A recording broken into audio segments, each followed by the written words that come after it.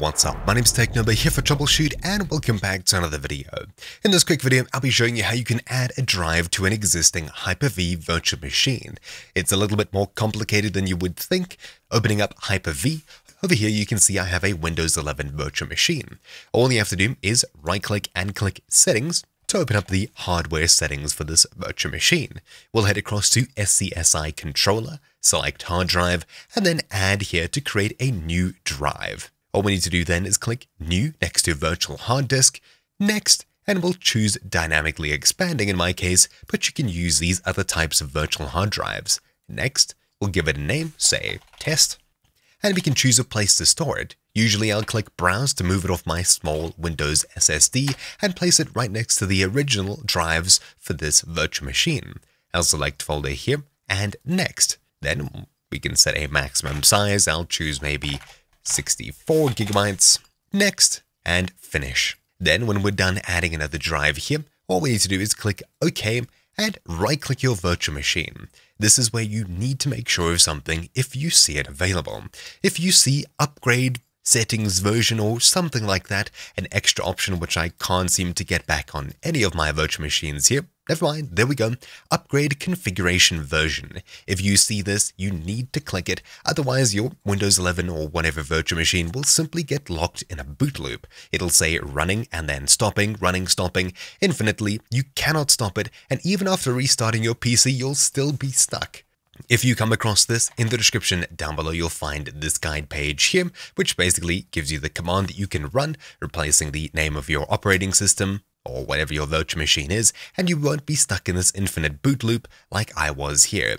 It was incredibly annoying.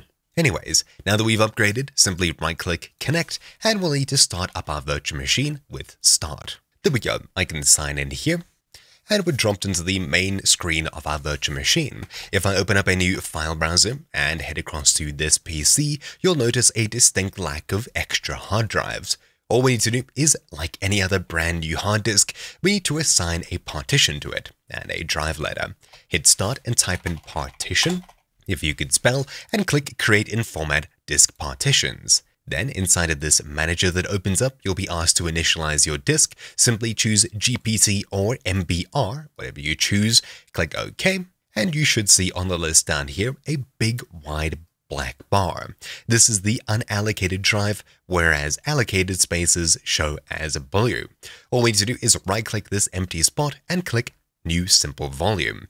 Then we can click Next, choose how big we want the volume to be, which is usually 100% of the maximum, Next, choose a drive letter, next, and we can give it a name here, say SSD.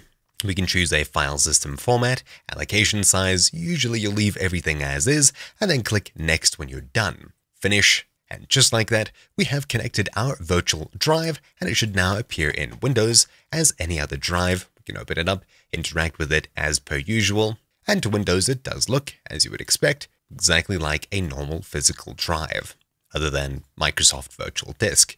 Anyways, that's really about it for this quick guide. It's really simple. And of course, you can connect drives from other virtual machines, etc. It's a powerful tool, and this is how to use it. If you're connecting from an existing virtual machine or an existing drive, of course you won't need to allocate it once again. Using Partition Manager, you only need to do that once per virtual hard drive you create. Anyways, that's really about it for this quick video.